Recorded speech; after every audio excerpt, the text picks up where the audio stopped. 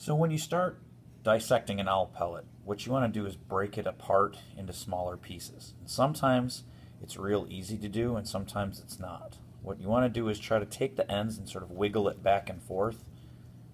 And a lot of times it'll just start to come open. You want to be gentle with it because there's a lot of times bones in the middle of there. So you gently sort of pull it apart, you break it into smaller pieces, and you just keep doing that.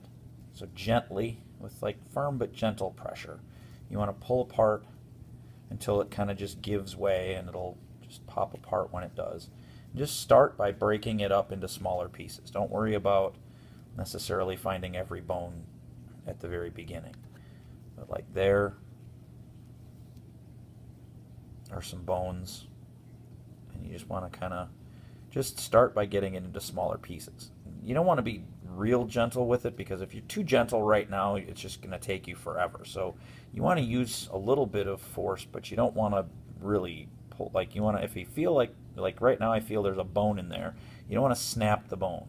Um, you want to just kind of gently keep working and working until it just kind of lets itself loose, and just keep pulling it apart until you get pieces that are small enough to use and you can also then start to see some of the skulls come into play. Now, sometimes there's like a hard crust on the outside of here. Um, what you would do then is just take this. This is a dissecting needle. It's got a sharp tip to it, uh, and just gently scratch the surface. And if you do it like enough, and just kind of keep going, it's a lot of times like when it's got a crust on it. This this one doesn't. But when it has a crust on it, it'll just gently sort of start to give way and feel soft underneath. And just go all the way around your owl pellet. And once you kind of loosen that up, then you can do what I did at the beginning and it'll just kind of come loose like that. So you want to keep breaking this up into smaller and smaller pieces until you come across a skull. Now like there, can't really see it real well, but that right there is a lower jawbone. So you want to especially pay attention to jawbones and skulls. Now I haven't found the skull that that belongs with yet, but oh, there it is. So that orange right there, those are incisor teeth. And that tells you that you've got a skull. And once you find a skull, you want to be really careful. Um, a lot of times what will happen is when the owls will kill their prey, they'll break the skull. They'll fracture the skull. These, these rodents have pretty thin bone in the skull. And you want to kind of gently just get as much of that hair as you can out of there without damaging the bone. Now this one is damaged already. Um, there's nothing I can do about this. You can see the back part of the skull is missing. Right here there should be more bone. Uh, that's where the brain would be. That's all gone right now. And what's really important when you find one like this is you have to realize that the total length measurement isn't going to be useful because you don't have the total skull. So if you just measured from here to here, it might give you a certain total length. That's not what the length of the skull would be, though. That skull probably would go all the way back to here, and you can't guess at that. So skull length isn't a, a one you can use, which is why it's really important to try to keep these skulls together because skull length can be very, very useful in determining which particular kind of animal skull that you have. Um, but you want to kind of go and try to loosen things up. Here, it's not always a great idea to try to pull that out because sometimes that fur is what's holding the skull together. You just kind of have to get a feel for it by how stuck together everything is and and you know if you see like a bunch of fractures in the skull then you probably just want to leave it alone but now this skull right here is clean and now you can start doing stuff like looking at the teeth um, I don't know if I'm going to be able to get this to focus very well on this, um, but you're going to start looking at those characteristics found in the dichotomous key. You're going to measure the length of the cheek teeth rows and how many molars it has, and particularly that last upper cheek tooth um, in that row is a real important characteristic to look at. Uh, you can't really see it very well here because this when it's on video it doesn't give the resolution, but that last tooth is in the dichotomous key and they talk about it repeatedly there. So what you want to do is just go through the pellet, find as many skulls as, the, as, as you can, Now, in all likelihood, this lower jawbone came from that skull because they were right there together in the same section of the pellet. You can't necessarily assume that, but this lower jawbone, rodents have um, lower jawbones that are in two pieces. So unlike a human lower jaw, which all one piece, these are actually two-piece lower jawbones. So there's another piece that belongs here. This would go on one side of the lower jaw, and there'd be another piece that goes along on the other side of the lower jaw. Now, whether that's in here or not remains to be seen, and it might be in the same section, it might not be in the same section. But as you're doing this, what you want to do is kind of gently press the fur. Like this is just a great big wad of fur here. You don't want to have to sit there and go through every little bit of that. But now there's a bone. Um, and while these are not really useful bones, um, this one looks to be uh, a humerus, maybe, um, the upper arm bone. They can tell you maybe that there's more to, that you should be looking for in the pellet. Like if you've got a bunch of femur bones, that upper leg bone, and you've only got one skull, chances are there's more than one animal represented here, and you might want to go back and look a little bit more closely through your pellet. Now, there's a lot of debris in this pellet, more than usual. This, um, you know, there's some grass mixed in here. Um, you know, this is just a piece of, of grass here, um, and sometimes that can get confused with, you know, if you're not used to looking at these, you might think that's a bone just because it's stiff. But what you want to do is just kind of gently pull away the the fur and kind of feel it sort of between your fingers where kind of rub it back and forth. If there's anything that feels hard, then you want to kind of investigate that a little bit further. and as you do, sometimes it turns out to be something useful, sometimes it isn't. Now, one thing you have to be careful of here is that some of the specimens that you're going to find, like this skull, uh, there are certain specimens, I'm not going to tell you which, but there are certain specimens, the whole skull is no bigger than this right here.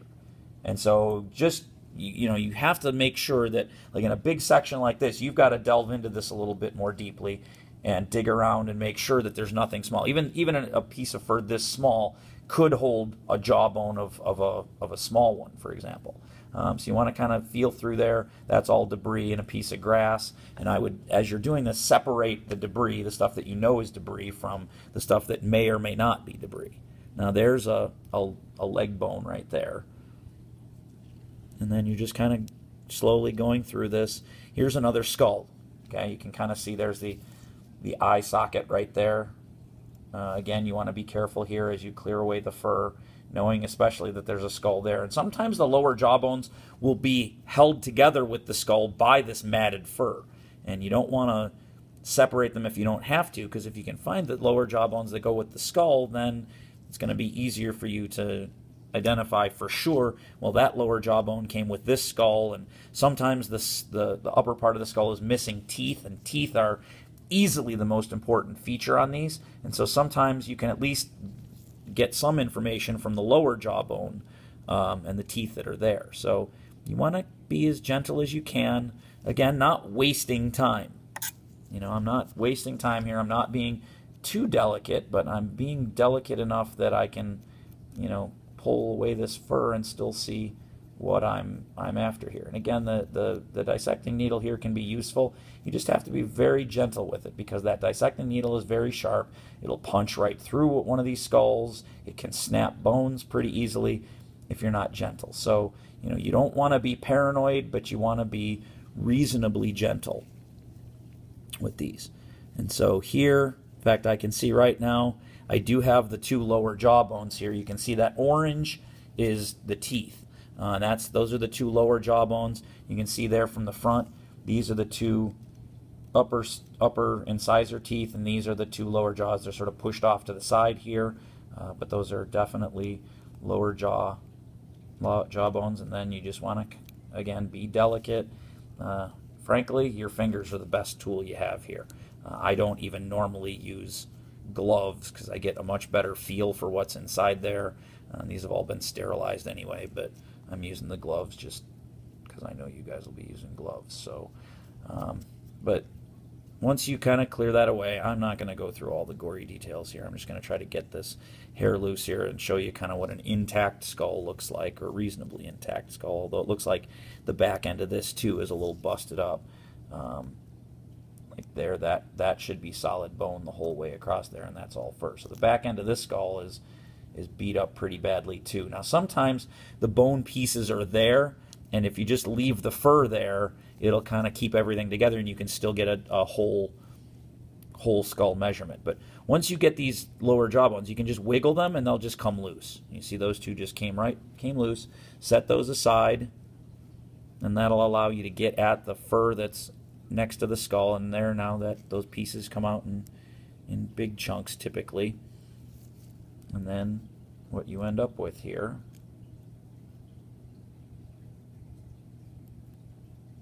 and there's some looks like ribs mixed in for fun. Um, you know, the skeleton doesn't always stay together. In fact, it almost never stays together um, in these owl pellets. This thing has been through digestion inside the owl's stomach, and then the stomach just compresses everything that's there into a big wad. And so the fact that a lot of the stuff isn't together anymore isn't surprising at all. I have never, in all of the years that I've done this, I've seen thousands of owl pellets. I've never, ever seen an intact skeleton, complete intact skeleton there's bits and pieces. And what you have to understand too, if you watch the video that I, I posted earlier um, of the owl uh, regurgitating a pellet, they may regurgitate as many as two or three pellets in a single day. And so you aren't even guaranteed that all the parts of one animal end up in the same pellet. Part of it, and I see there, that's a don't do. I just accidentally pulled on here and you pulled, I pulled the whole skull apart. There's nothing I can do at this point. Um, it's unfortunate that I did that because now I can't use the total skull measurement. Um, but the reality is, I just, you know, when I was pulling that that fur loose, the whole thing came apart. But at least I have this, and quite frankly, if you know what you're doing, all you should need is a single tooth. Um, if you know what the teeth are and you know which tooth is important, I can identify most of these just from looking at a single tooth. But again, now what you want to do is you want to set that aside with the jawbones that it came from. Um, might even want to put that in a separate place, like on your lab table. Um, and then you know you can kind of keep these things together. And when you get done going through it, you will have all the skulls. And once you get all the skulls set aside, then it's time to use the dichotomous key um, on the skulls. The dichotomous key, if you read through it, is just for the skulls. Um, so the other limb bones might tell you, hey, I should be looking for another skull maybe, but they're not going to tell you much about what organism it came from. Um, I'm sure there are dichotomous keys that will tell you that, but not all of them will. So um, certainly this one is just about skulls and teeth. So um, I'm going to wrap it up there. I'm not going to go through the whole owl pellet and bore you, but that's basically how I would go about um, dissecting the owl pellet, some little tricks and techniques that I use. Um, but don't be afraid to use your fingers. Your fingers are the best tools you have here, and just use your sense of touch to realize, okay, that's a bone, and then work gently wiggling it loose, and that's the secret. Once you have those skulls, then get after it with the dichotomous key. See you tomorrow.